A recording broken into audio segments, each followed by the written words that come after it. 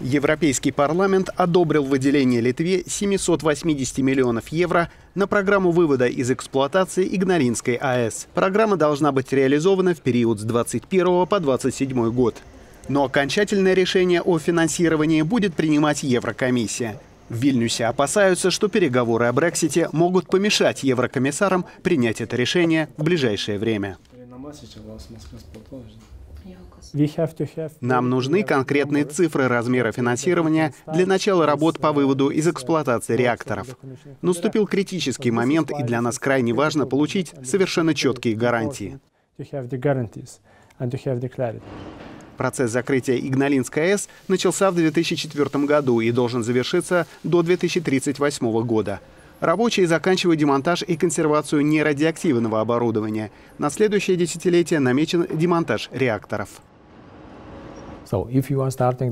Как только вы начинаете демонтировать реакторы, открывать самые опасные места и части реактора, нужно доводить дело до конца. До полного окончания работ останавливаться нельзя. Именно этим объясняются финансовые требования, которые мы предъявляем Европейской комиссии.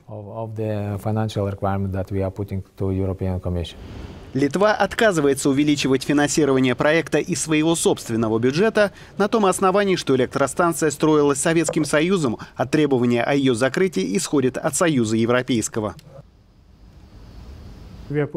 Нас загнали в угол, так как АЭС досталась нам от Советского Союза, а ее демонтаж был условием для вхождения в Европейский Союз. В то время, в 2003 году, мы договорились с Евросоюзом о том, что он адекватно профинансирует вывод этой АЭС из эксплуатации.